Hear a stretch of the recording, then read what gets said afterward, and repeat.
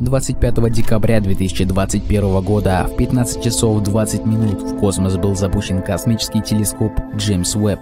Он стал самым прорывным, мощным и дорогим из когда-либо созданных телескопов. Впрочем, он уже оправдывает свою огромную цену, представляя нам потрясающие снимки дальнего космоса. На них определенно стоит взглянуть. С вами канал Фактопс и в этом выпуске я покажу 14 новых кадров, сделанных космическим телескопом Джеймс Уэбб, которые потрясли всю космическую отрасль. Погнали! Кольца Урана Недавно космический телескоп Джеймс Уэбб сделал потрясающее изображение планеты Уран. Это первое детальное изображение Урана, полученное с использованием этого телескопа. И на нем можно увидеть кольцевую систему ледяного гиганта, его самые яркие спутники и динамичную атмосферу. Здесь можно увидеть Уран во всей его красе.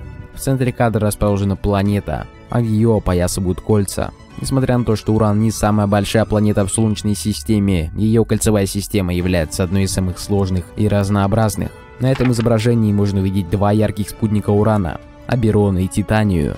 Это изображение сделано путем объединения данных из двух фильтров, которые можно увидеть в виде синей окраски и оранжевых бликов соответственно. На изображении в типичном цвете показана плотная ледяная жидкость из воды, метана и аммиака над небольшим каменистым ядром, из которого состоит уран, который выглядит как светло-голубой снежок. Пылевой шлейф взаимодействия двух звезд. Звезды, которые оставили после себя пылевой шлейф, располагаются в 5000 световых лет от Земли, в созвездии Лебедя. Звездная система получила название VR-140. Она включает в себя звезду Вольфа-Рая и голубую сверхгигантскую звезду. В результате взаимодействия двух звезд телескопу Джеймс Уэбб удалось запечатлеть кольца пыли, Раньше ученые исследовали систему с помощью обсерватории Кека на Гавайях. Каждые 8 лет во время сближения звезд в космическое пространство испускаются огромные клубы пыли, которые по размеру превышают расстояние от Земли до Солнца в тысячи раз. Большинство звезд выбрасывают потоки газа, однако в случае звездой VR-140 это скорее напоминает звездный ураган, а не ветер. На более поздних стадиях жизненного цикла эти светила сбросили свой водородный слой Водород не является составляющим пыли, однако другие элементы, расположенные внутри звезды, такие как углерод, могут формировать пылевой шлейф. Этот эффект достигается за счет конденсации углерода в зонах столкновения ветра двух звезд. Если проще, то это значит, что его можно наблюдать только в инфракрасном свете телескопов. Юпитер и его кольца на снимке, сделанном Уэбом в июле 2022 года, запечатлен Юпитер, его кольца, полярное сияние, а также два крошечных спутника газового гиганта – Амальтея и Адрастея. Снимок получен при помощи камеры ближнего инфракрасного диапазона NIRCam. Крупный спутник Ио в кадр не попал, но породил небольшой пик яркости у границы снимка. На втором изображении крупный план Юпитера, сделанный с помощью трех разных фильтров. Светящееся полярное сияние показано красным цветом, зеленым отмечена высотная дымка, а синим более глубокие слои облаков.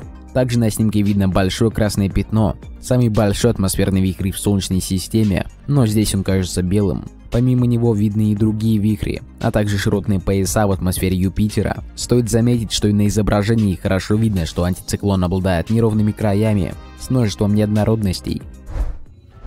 Кассиопея А Сверхновые звезды или вспышки сверхновых – одни из самых впечатляющих космических явлений. Звезды резко увеличивают свою яркость в 100 миллионов раз. И Кассиопея, остаток одной из таких вспышек, был детально запечатлен телескопом Джеймс Уэбб. Этот звездный взрыв, по данным НАСА, произошел 340 лет назад, поэтому считается самым молодым остатком сверхновой в галактике. Изображение, которое сделал Джеймс Уэбб, позволяет астрономам лучше разобраться в природе возникновения подобных вспышек. Кассиопея, по мнению НАСА, может помочь ответить на важнейшие научные вопросы о происхождении космической пыли.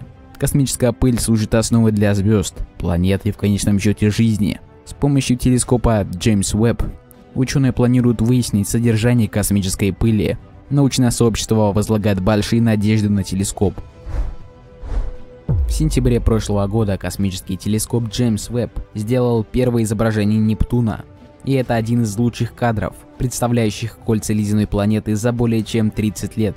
Кроме того, в инфракрасном спектре планета не выглядит привычно голубой. Она поглощает так много инфракрасных и красных видимых волн, что больше похоже на призрака планеты.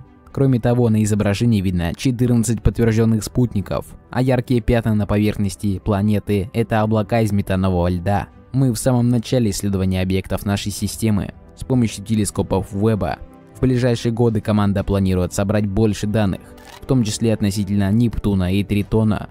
Яркая звезда сверху Нептуна – это и есть спутник Тритон. Молодые звезды в столпах творения.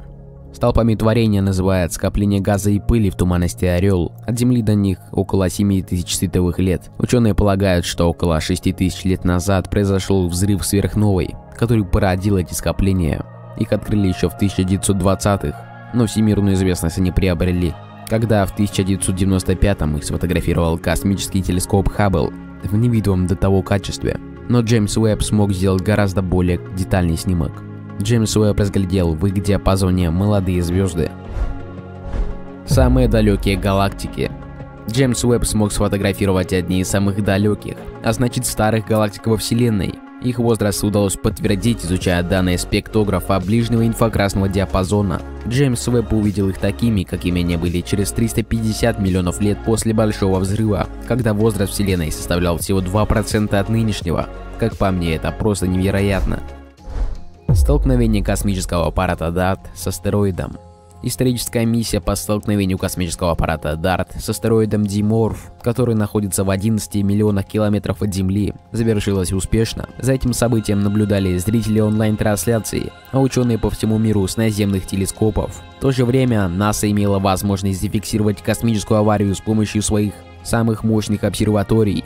29 сентября НАСА и Европейское космическое агентство опубликовали новые изображения, сделанные космическими телескопами Хаббл и Джеймс Уэбб на которых виден эпический момент столкновения Дарт с Диморфом. Дарт был разработан специально для первого в истории человечества эксперимента по целенаправленному кинетическому удару по астероиду, чтобы увидеть, может ли это изменить орбиту космического камня. В случае успеха, такая техника когда-нибудь сможет использоваться для защиты Земли от потенциально опасного астероида или кометы, угрожающих столкновением с нашей планетой. Туманность Южное кольцо.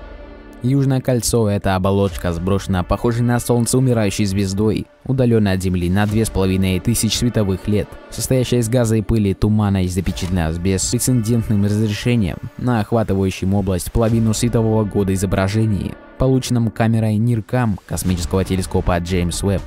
Яркая звезда около центра, спутник умирающей звезды, выбрасывающий оболочки из газа и пыли в течение нескольких тысяч лет на последней стадии эволюции, превращаясь в белого карлика.